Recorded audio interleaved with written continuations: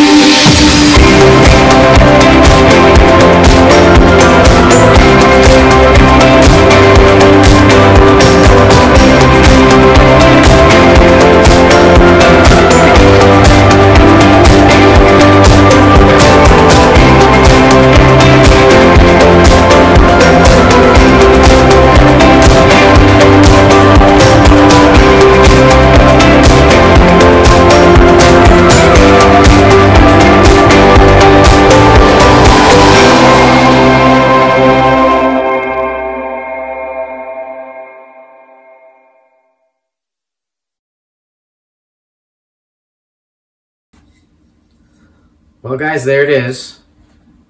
Turned out more of like a spatula crossover type of spoon. I'm pretty satisfied with it. That's pretty cool. Thanks for watching.